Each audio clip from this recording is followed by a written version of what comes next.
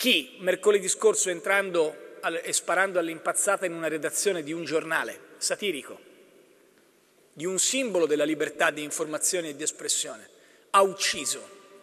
Chi ha ucciso delle forze dell'ordine, colpevoli soltanto di portare una divisa, chi ha ucciso in un negozio in cui si vendeva, si vendono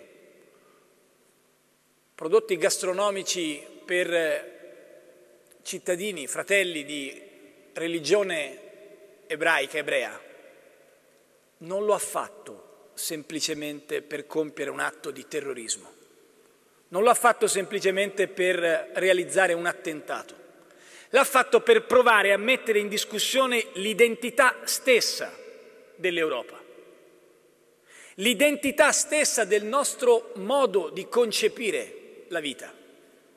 E la nostra parola identità è una delle parole più belle che dobbiamo difendere, preservandola però innanzitutto dall'atteggiamento sguaiato, cialtrone e maldestro di chi, anche a casa nostra, pensa che la parola identità sia il contrario dell'integrazione. Il contrario della parola integrazione è disintegrazione. Il contrario della parola identità è anonimato.